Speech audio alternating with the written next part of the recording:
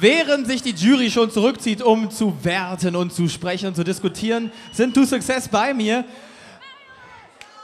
Ja, ihr freut euch noch, ihr habt es geschafft. Als allerletzter Band, wie war denn dieses Warten?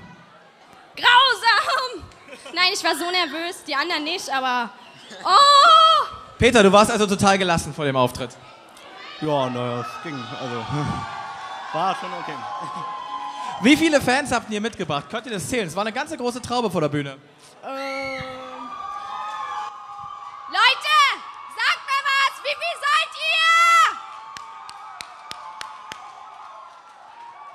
ihr? Also viele. Ja, sehr viel. Okay, Sonja, ich habe dich kurz vorm Auftritt noch ähm, hinter der Bühne pirschen sehen. Du hast die Gitarren sehr, sehr spät rausgeholt. Das macht die ganze Nervosität dann noch schlimmer. Was genau war los? Äh, ich habe meine Gitarre im Auto gelassen. Und da habe ich gedacht, ach scheiße, wo sind meine Gitarren? Dann bin ich noch zum Auto gerannt. Aber hat noch geklappt.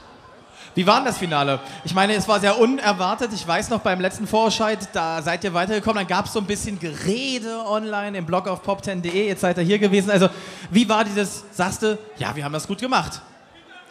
Also jetzt der Auftritt jetzt? Also ich denke mal, wir hatten Spaß und das zählt. Und was die anderen sagen, wenn es euch nicht gefällt, selbst schuld. Theoretisch gibt es ja 14.572 gefällt's mir bei Facebook. Okay, to success.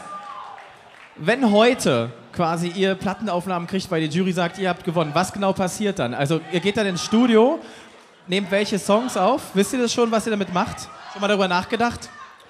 Also ich denke, da fragen wir unsere Fans, was sie hören wollen. Also ganz interaktiv das Ganze. Okay, to success. Sanja, wir sehen euch alle gleich nochmal auf der Bühne wieder. Wir sind gespannt. Die Jury wird gleich entscheiden, wer gewinnt. Außerdem das Publikum. Wer sein Publikumspreiszettelchen noch nicht abgegeben hat, der hat noch gute fünf Minuten Zeit. Da am Datestand brummt es. Und gleich wissen wir, wer gewinnt. Die SWR Music Kids.